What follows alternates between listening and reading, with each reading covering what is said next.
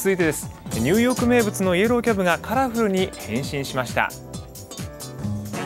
最近街中で見かける大きな花柄でひときわ目立つこちらのタクシー。今年はニューヨークのタクシー協会が創立100周年を迎えそれを記念してタクシーを花柄に模様替えするイベントが行われているんです。現在およそ2000台が花柄に変身。今年中に1万3000台すべてが花柄に変わるそうです。Basically, you know, people just stop and stare. Um, they're unique, you know, they have better design, and people look at them when they go by.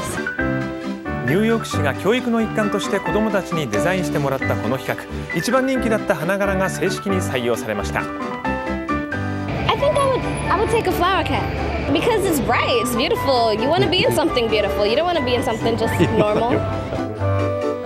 タクシーをカラフルに模様替えするこの試みニューヨークだけでなくカリフォルニアやペンシルベニアなど他の5つの州にも広がっているということなんですね。